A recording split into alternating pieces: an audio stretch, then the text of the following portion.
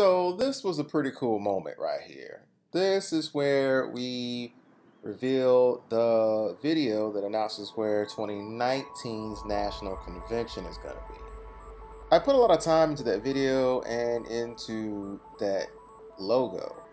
And it's really amazing to see it being well received and seeing that big of a reaction live and in person from that many people. So this video, I'm going to kind of break it down and kind of talk about how to create a national convention logo with meaning.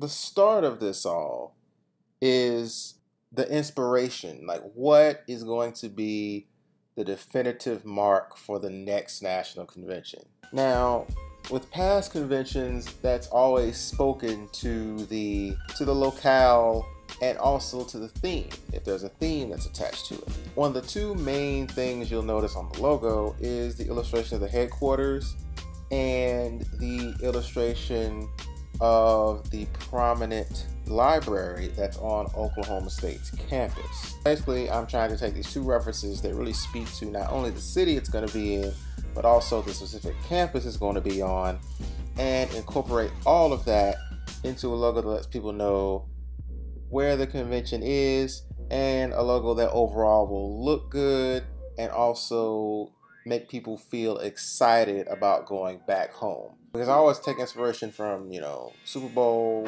you know, the Final Four was a heavy inspiration on this one. And I always strive for event logos such as these. I want those logos that I create to be able to stand in the same room as some of those other iconic Super Bowl, Final Four, you know, those big, big events. So I'm always looking to those things, not just other fraternities and sororities, but I'm looking for the big events to inspire me to make something that's just as grand.